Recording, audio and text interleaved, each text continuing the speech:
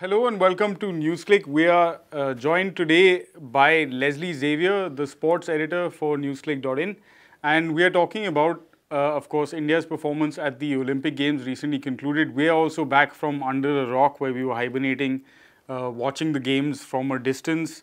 So, of course, cheering the Indian athletes uh, as well as looking at what went right and what went wrong for India and the context in which uh, the present context of what is happening in the country and how all of the processes uh, that go into the preparation of an athlete, into the preparation of a team, how all of that culminates in uh, the Olympic process and, and the Olympic Games actually. Uh, it's been a long time in the making. Of course, the games were delayed, uh, as we all know, because of the pandemic. Uh, so one year later than they were supposed to start, and we've seen massive advertisements from the Indian team and the main protagonists of the Indian team, saying that those extra 365 days or however many days there were have actually aided them, allowed them to train more, uh, allowed them to focus more, and benefited in, I suppose, some uh, various other ways. And how much of an effort it's taken collectively to make it even possible for our athletes, given the condition that India is in, and given all of the sort of tumultuous, turbulent, difficult situations that we've had to deal with in combating the COVID-19 pandemic.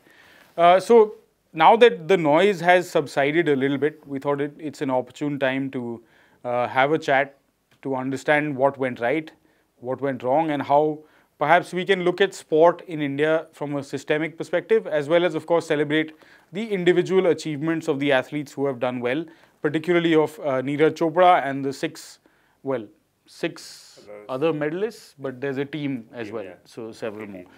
Uh, Leslie, good to, good to, yeah, yeah.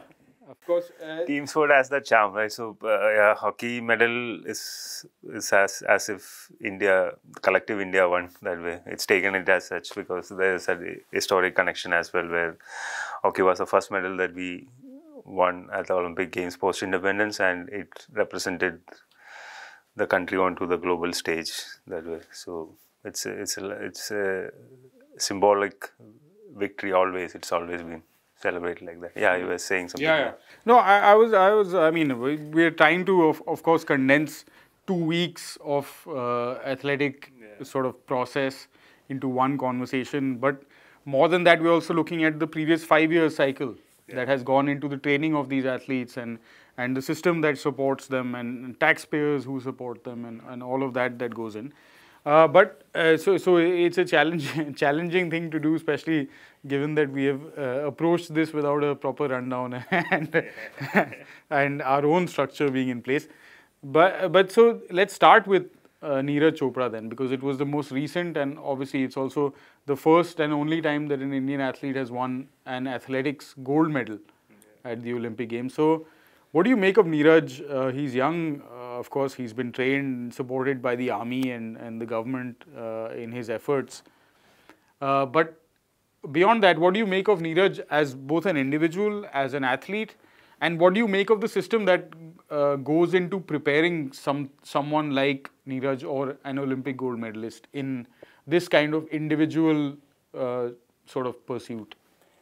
So individual sport is a different beast altogether. We started off by talking about hockey and how it represents the country and all that. So when when a program is being devised for, for team sport, it's it's uh, there are a lot of uh, considerations about compositions, the factors in, in, in gameplay and all that. But individual is is uh, it's not a uh, uh, as far as I see uh, when these these athletes are governed by federation, right? They they oversee their preparations and all that. But Neeraj, his journey, when you look at it, or for instance, any of those athletes who have won uh, individual medals at the games for India, they also have that innate drive to excel. That that mindset that we are there and we could win be it Mirabai Chanu, be it PV Sindhu. Mm. I mean, PV Sindhu, for instance, is like I mean, if, if, you can compare, she's like any other pro athlete in the in the in the on tour in, on badminton. Mm. So they they compete as a professional uh, through the circuit, the badminton international badminton federation uh, circuit, and then. Uh, they have their own ranking system. Sindhu is ranked seventh in the world, and uh, from there, you sort of recalibrate into this Olympic Games where you have to. Uh, so, in that regard, when uh, I would like to quote Aditi, uh, the golfer. Mm. So, she said that I didn't know. I mean, it's it's very difficult for her to do this recalibration when you play on the golf tour. You have that idea that you can finish 10th and also you are earning something you are earning ranking points you are celebrated as well. I mean for instance in a major if you finish 10th it's it's an achievement in itself. You earn money you earn accolades whatever that comes with that. Mm. ranking points uh, rise in rankings whatever. But in olympics someone asked her the question first up a wrong thing to answer. Um, journalists should also be a little diligent about such things because how do you feel like getting into this fourth place club so she said, I didn't know that there is a club that celebrated, and it's weird for me in the sense to. Uh, so that's that's that's the whole all different idea of individual sport, but within that individual realm, there is there are events like boxing where there is a lot of uh, uh, molding of the athlete requires that support structure around. Where a Lovlina Borgohain can't pursue her career like a PV Sindhu. Mm. She is dependent on the government sending her for competitions. Mm. She is dependent on on the structure provided by the training facilities of the government. Sindhu trained Sindhu trained in England. Lovlina trained at the SAI Center. So, so so that so when we look at Olympics as a collective. Uh, uh, a group of events happening there are individual dynamics in there. So we, when we take Neeraj Chopra's achievement and when we take Bajrang Punia's achievement, of course there are these are individual medals, but uh, the the path that the athlete goes through in wrestling to reach a bronze medal and the path that Neeraj took to reach gold medal, these two are entirely different. So getting back to Neeraj, how special it is, Neeraj was a special is a, I mean, was a special talent, I would say, because his talent has reached that potential now. Yeah, so it's it's actualized. Mm. And from here, where that's that's another question altogether. Mm. Of course, he has to. I mean, he is young. He's in his mid twenties, so he has to push himself further. He, he, has at least two Olympics of prime left. So next Olympics being very close. So, uh, but his journey I mean, so we have to take into perspective the idea that we don't look at the five-year Olympic cycle. Let's go back further down. So his journey is in the sport in itself. It's it's just nine-year-old, which is uh, which is small for a Olympic champion. So that that probably says a lot about the talent that Neeraj possesses, hmm. but it also says a lot about how bad our scouting system or the feeding system is. So Neeraj got into the sport by chance and uh, uh, he was just asked by a senior who was training, he, are you interested in throwing? Yeah. He said, yeah, let me try. They realized that he has a natural flair for it, trained, got into the system and then, and then from there, uh, all these private entities who support Indian sport, the top athletes, something like a OGQ or a Go Sport, uh, Neeraj is uh, JSW athlete, so JSW sport. So they get into it much later. So Neeraj proved himself with medals at the junior levels. He then got into that structure where he got into the TOPS program as well as getting funding and then the real preparation happened. Like how do you get from a junior to, to that higher level? That's where uh, training abroad and the long stints abroad, getting a foreign coach to work on the body dynamics, biodynamics, and all that. And it's it all culminated perfectly to such an extent that he didn't at the grand stage he was ready for the stage, mm. which which his biggest rival was not yeah. surprisingly. So the man, Johannes Vetter, who is throwing 90 meter plus, and uh, to be fair, we we I mean I myself I I I just till till till the medal happened, I was just thinking that he can't win gold. Next throw, somebody. Yeah, yeah, somebody will because I knew he can touch his personal best or close to that. Yeah. That much of respect we had for Neeraj Chopra because he has proven that, and he is and yeah. Time and again in competition, he has. Yeah. Uh, bettered his own better in better in so that's that's that critical point that where uh, in at the olympics it's it's not just consistency it's not just technical brilliance but there is also this factor which which has to fall in place. And neeraj uh, the team around him and it's obvious and it's also his personal drive at all because neeraj is one athlete who has who has constantly been vocal about i need this i need that. Hmm.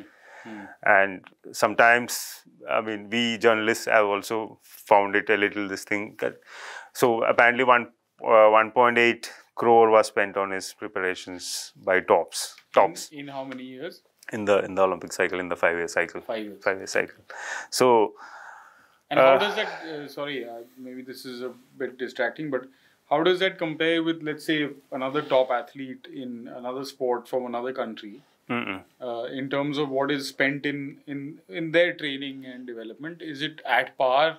Is it more? Is it less? Uh, in your opinion? what happens with with athletes abroad is that a part of it they are on their own they have to fend which is why the indian system is is uh, uh, has its positives that way because athlete is is taken care of the, by, by the system provided he is there uh, so it's a top heavy system so uh, someone like a vetter would would would also need to figure out his his private resources backers and sponsorships etc. and and someone like uh, Neeraj Chopra, the sponsorships and the endorsements and the deals which come now, it's all it's all personal. Of course, he will use some of it to push push himself further, but otherwise, the entire uh, program is yeah, it's a bureaucratic mess, but it's it's it's met by the met, by the government. So the same thing applies. So this is something that we have spoken about in the previous games at all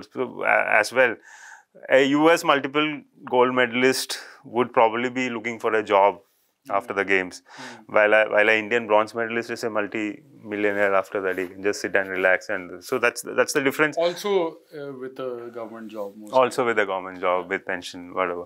So that's that's the difference in system, but it also has its problems because uh, being top heavy, the problem with uh, funding like a tops is that you only give it to people who have broken through fighting all the odds that are all the pitfalls that are there. So so uh, as as an athlete as uh, when do you need the support? I mean it's a simple example that i i can give from my personal experience is that when i was i mean i used to wrestle at at a much lower level nationals and all i used to compete. So when i used to train I used to get there is a company called Pama in Pama in Jalandhar. So I used to get the shoes from them, running shoes, uh, Nivia wrestling shoes. So uh, Pama shoes was 250 bucks for a pair, and now I am far from wrestling, far from any sort of professional sport, and I wear Asics shoe and all those things and walk to the park and come back. So when I needed these shoes, I, it was not there. It's not like if I had gotten Asics, I would have been an Olympic medalist. No, I was never that talented or not, never that diligent in training. But that's that's the example. That's the that's the thing I want to say. So, uh, someone like be it anybody, someone like Neeraj or I mean, we have stories of Bajrang Punia struggling at the early part, and then luckily he had me- a mentor in Yogeshwar would use you would give some money for the dietary requirement when he was junior and when he was not better off. So, so these kind of small small help athletes help each other. Like for instance, I have heard that Mirabai Chanu does that for the kids at the academy. In fact, we did a story, Vaibhav Raghunandan. We did a story after Mirabai Chanu won a silver, uh, talking to her first coach in in in Manipur, Manipur. and uh, she said uh, about the time that this girl walked into the training hall. Uh, 11 years old she was, and uh, then she was one of many. And now, when Mirabai enters that academy again, she will see under other Mirabais because everybody has the same backstory, and so, she having reached a place, she helps out. So that kind of a, so uh, I would say a top heavy system has its problems because yeah, because it's top heavy. we because it's top because yeah, it earns us medals. So seven medals we can celebrate. But then the problem is that what next? Uh, what what about 2028?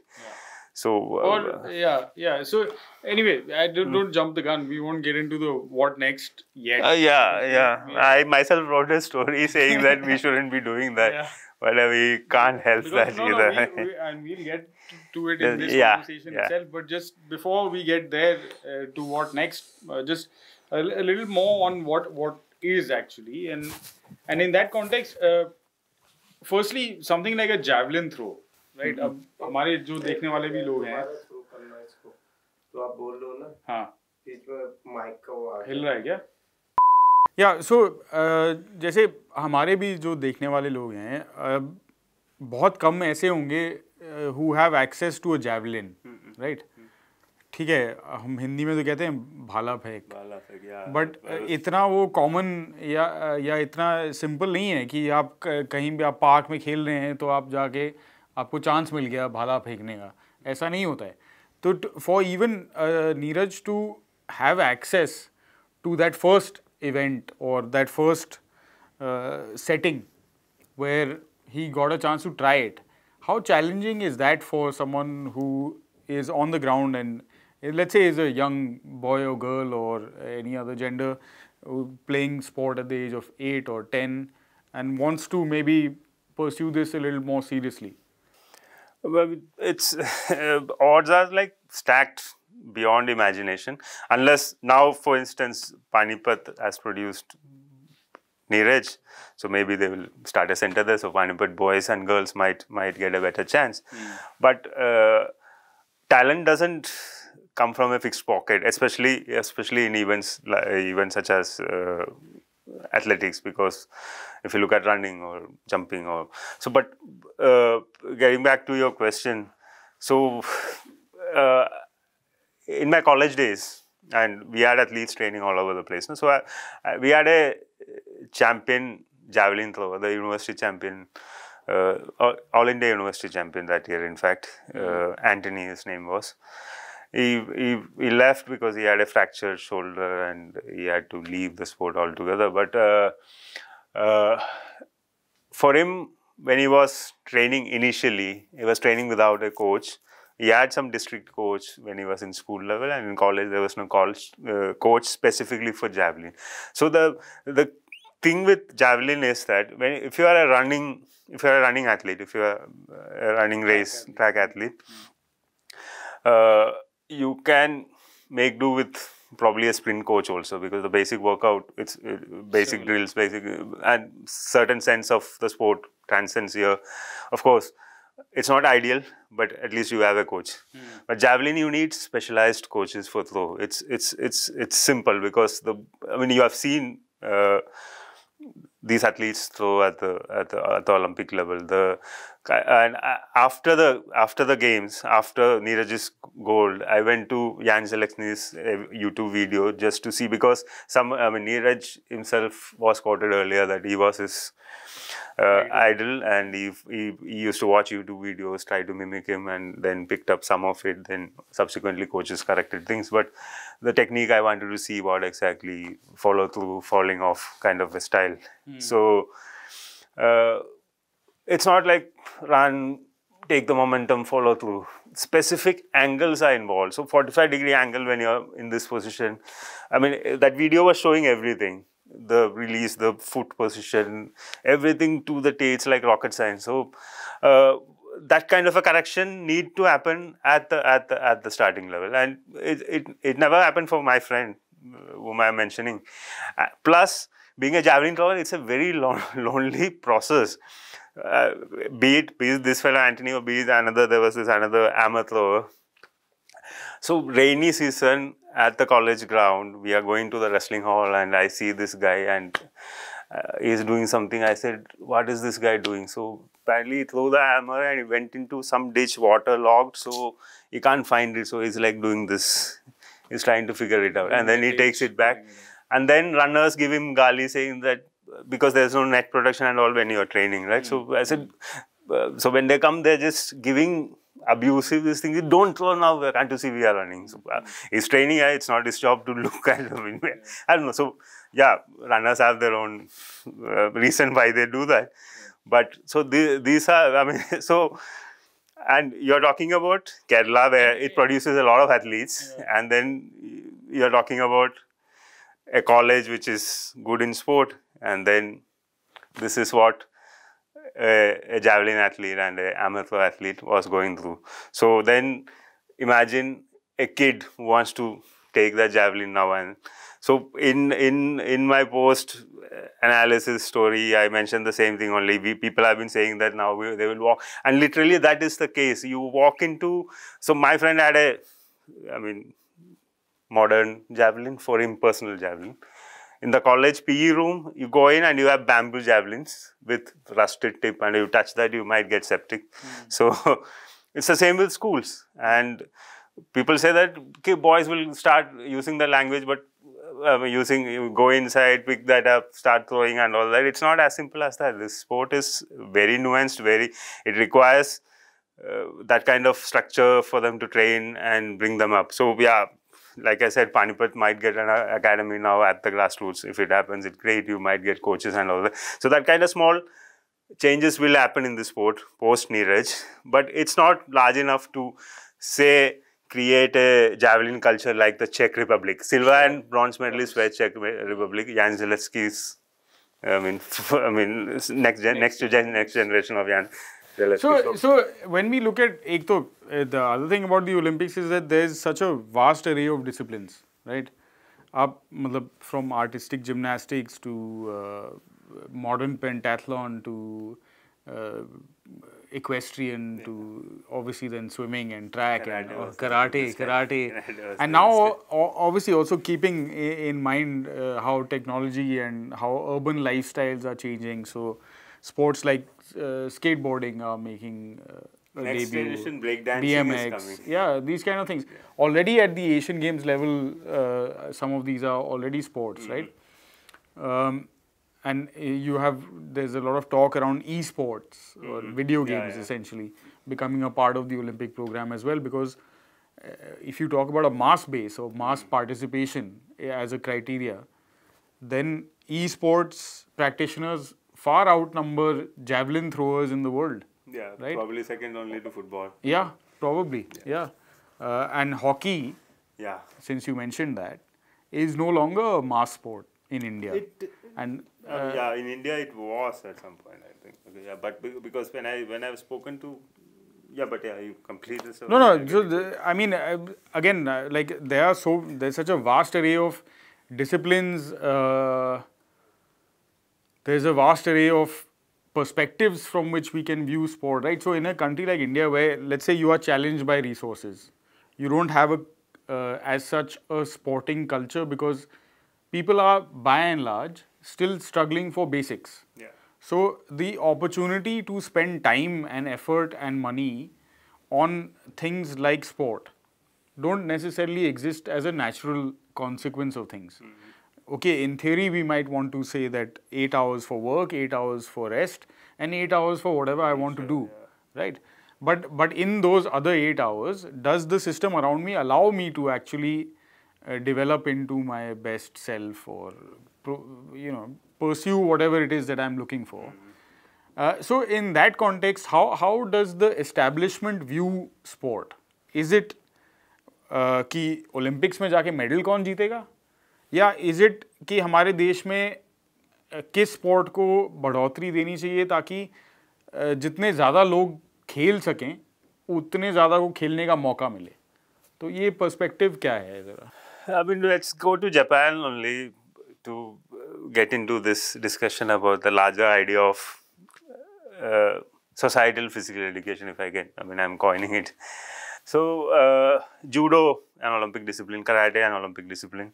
These two were, I, I mean, so uh, judo is a toothless version of jujitsu. It's a gentler, non-lethal yeah sporty version of uh, jiu-jitsu and karate's original version which was from okinawa Uh, was not meant to be what we saw. I mean, if, if people have seen the action in Japan, you would see kata demonstration event and also sparring, which is similar to fencing, hmm. where you punch and you don't really knock out the opponent, but you punch and you have to. I mean, it's skill based, hmm. and sports karate. So karate was tweaked, made less lethal. The drills were made uh, standardized so that it can be used for mass training.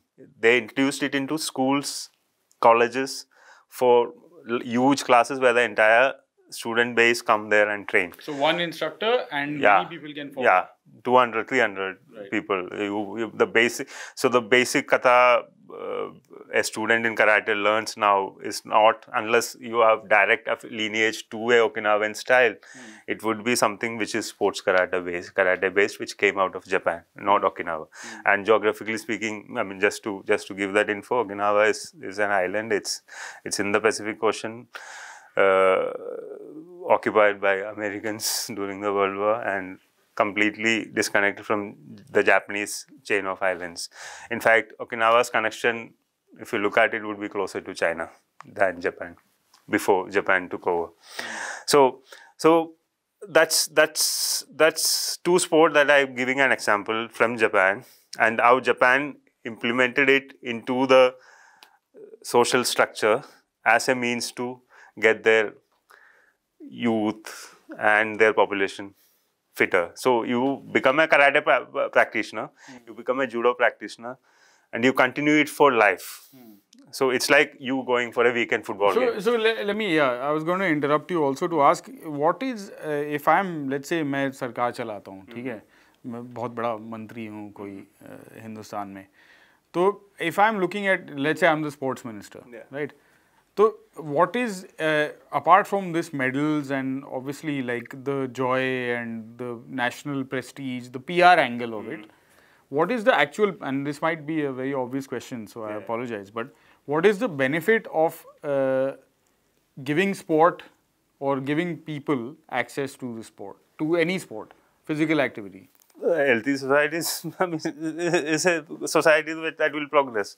So that's that's that's that was the Japanese outlook. For Kiren Riju, Rijiju, who, who was the sports minister till two months back, so this Olympic cycle, he was the biggest contributor.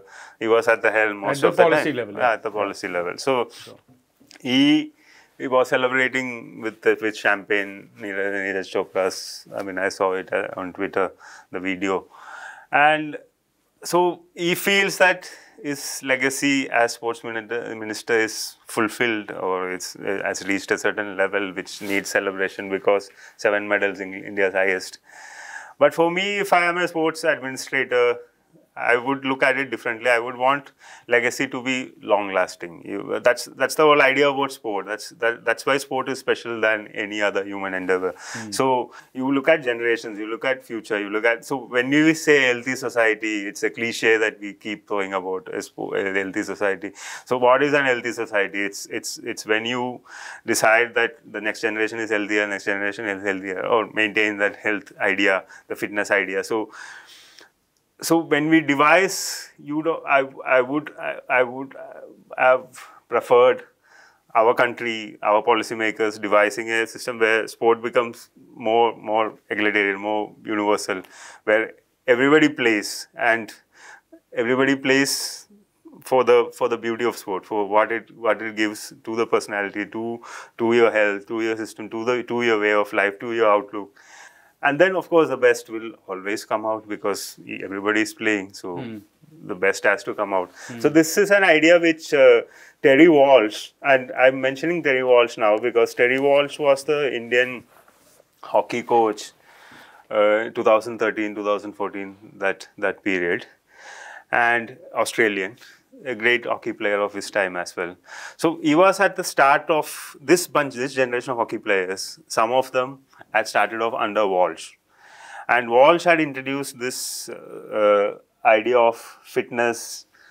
And he was telling me before a campaign which the team was going to Europe that uh, I'm focusing on fitness and getting the players up to up to the mark fitness wise, and I'm looking at fitness culture, not match fitness because that fitness culture is important and that's what comes out when India play Australia, for instance, because Australia everybody plays sport. Australia, uh, i- i- it's a cultural thing.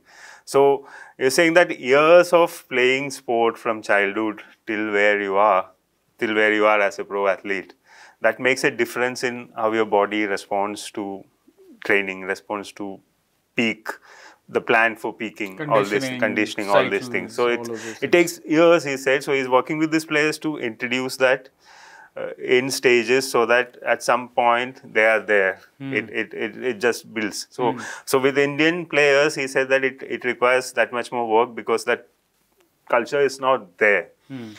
And also the other aspects like deficient, like getting back to what I, I had said earlier when I discussed Mirabai and all that, not getting the things. And it's not just about shoes; it's about dietary requirements also. Food. Something as basic as food. As, food. So, so uh, when you when you when you're developing your muscles and you only have that kind that period where your hormones kick in, Hmm.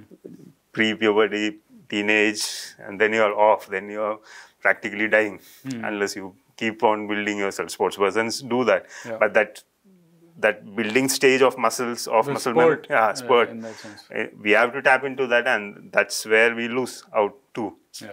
So uh, Walsh's idea of, of that fitness, so that that again uh, will draw from the larger base that we can create if if we if we work on if if the establishment, if the ministers, if if the policymakers work on a on building a larger base and it's not result based it's it's it's more culture based it's Participation it's participation based so that so that i mean opportunities are there. And in delhi capital so many stadiums over here I, I I've had kids who, who don't have access to grounds because the grounds. I mean, I'm talking about pre-pandemic days, not not now Now, to no one has yeah, access no to one has access to grounds in any case. So in the societies, and I've had this argument with with my the the flat society that I live in, where the parks are there brilliantly manicured. Kids are not allowed to play because all people need to walk. The pots will be broken, uh, broken. All these things, uh, all these discussions, debates, fights.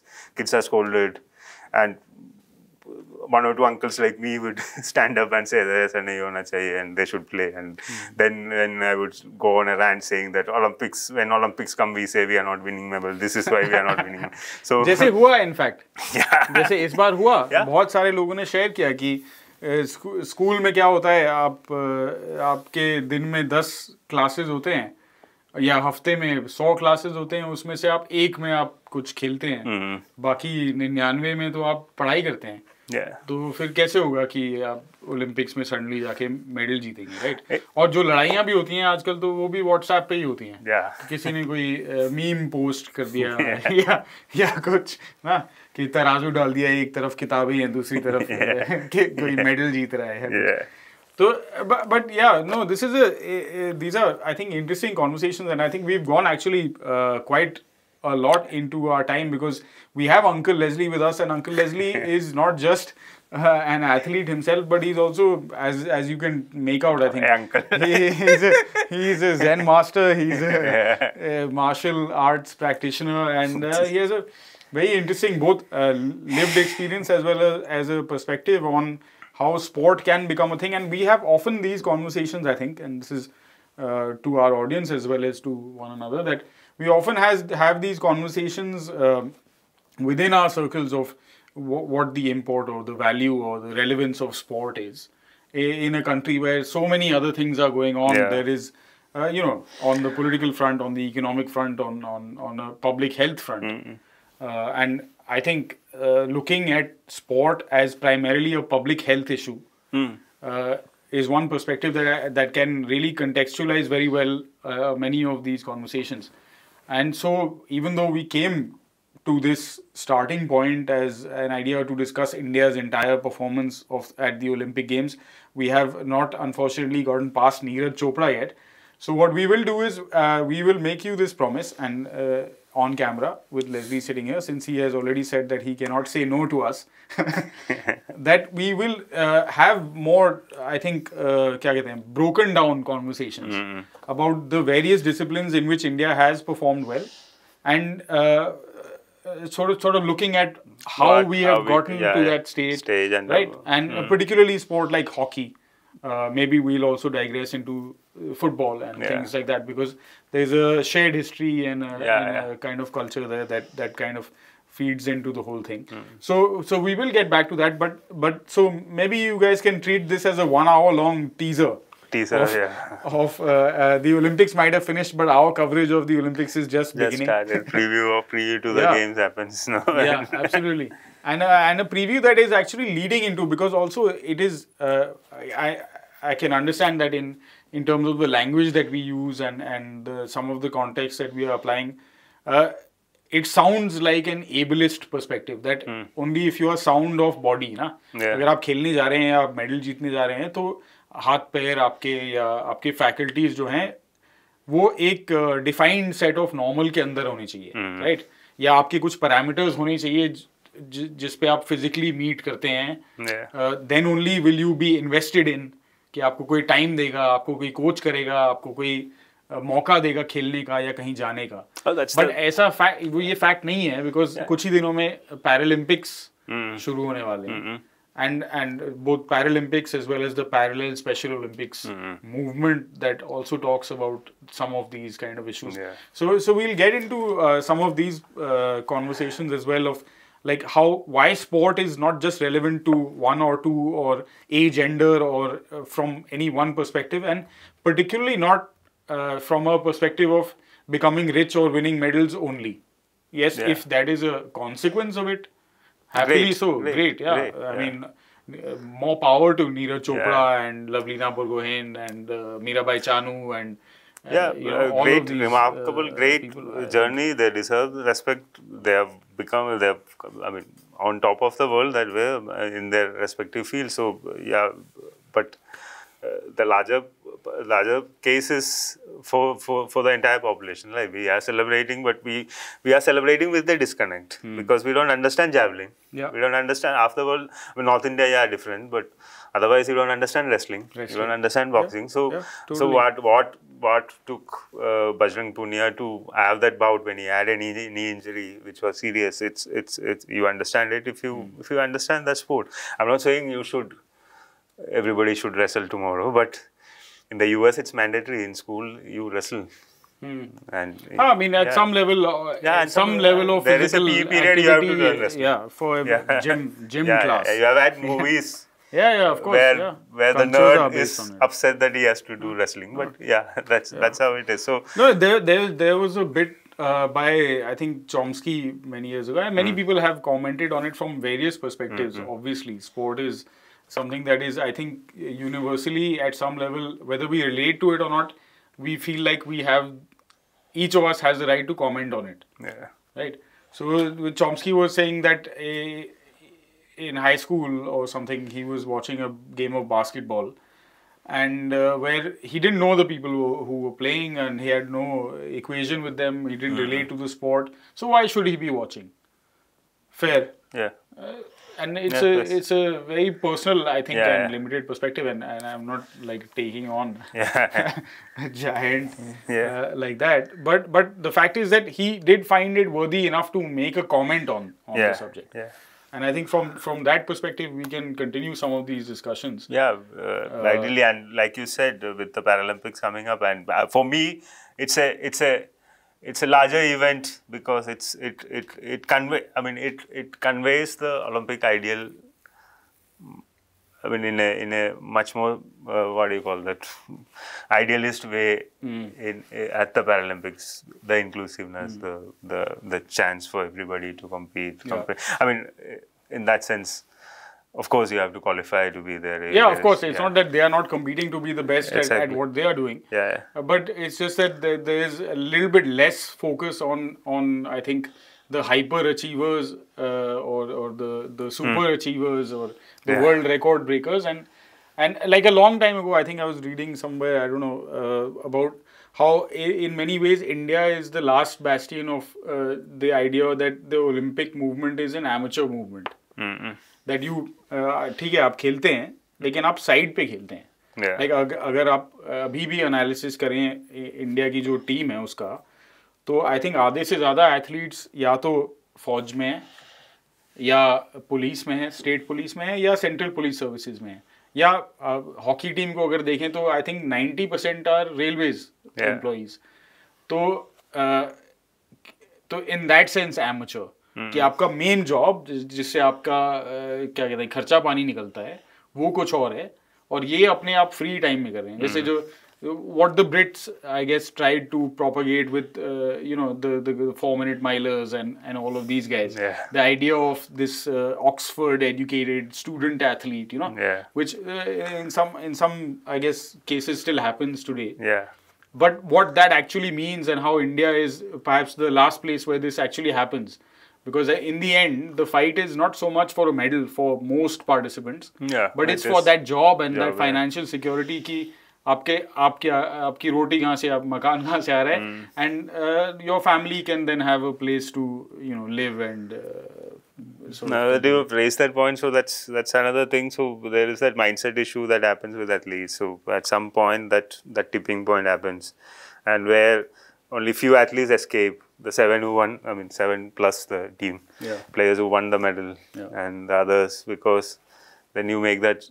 It's not a it's not a easy choice. It's not a deliberate choice either. Hmm. But you realize at certain point, ki, yeah, I need this job. I need to and so then that, you lose. Yeah. and you this, have to I mean yeah, you have to this- focus on one thing yeah, or the other right This is exactly the point that I discussed in the story that I wrote on Bhavani Devi, who made a debut, non-medalist. So uh, now she is forgotten, but the debut was celebrated. She would have, she could have made the debut in Rio hmm. had had things been had, had she been sent for competitions and she qualified then. Hmm. And she was good enough then younger and better. Hmm. And she was part of a bunch of great fencing fencers trained in SAI center in Kerala in Kozhikode where uh, I spoke to the coach for that story and he mentioned that almost all of them have the rest of the bunch have all stopped in the sense that serious competition. They are focusing on their jobs, government jobs, whatever they may manage with the with the national medals, with the small small international medals that they got, and they stopped. Bhavani Devi almost stopped in 2016 when she didn't make it. Just that uh, the coach encouraged her, and a year later, Go Sport Foundation got into se- selected her. I mean, it's just things falling into place. Luckily for her, she trains abroad in Italy now, and then ob- obviously it shows. So, so it's uh, the, the the same same idea that uh, job it it sometimes act as a bit of a problem especially for athletes who have gone there. So uh, indian sport is like the country itself. It's it's very tricky. It's a minefield if you get into it trying to argue for something because there's always yeah always always Uh, always something to prove the opposite to prove the opposite. So you, it's it's great that that these athletes are getting jobs. It's great that the government support is there uh, for athletes to train. But then again, I presented the case that top heavy, so grassroots are being ignored. Ignored athletes are not getting when they want it. Uh, so so that's probably why it's it's it's again the culture idea is uh, is a, is a larger thing because in over time in 20 30 40 years time you will reach a stage where where these things won't matter because uh, sport is that entrenched into the into the lifestyle that happens in north india in wrestling yeah and it's not like Right. it's not Bajrang is was born yesterday. Yeah, it's yeah. because there is a feeding system around. Everybody wrestles and and they come out. Yeah. So And uh, the reason why even a, a sort of foreign commentator who is uh, so telling us about the Yeah. feed, uh, the Yeah. sport when the world feed is happening Yeah. Can say that कि all India के सारे wrestler Haryana से ही आते हैं।